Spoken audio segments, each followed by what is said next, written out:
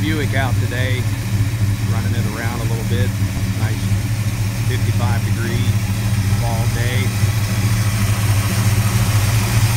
455 is running sweet today.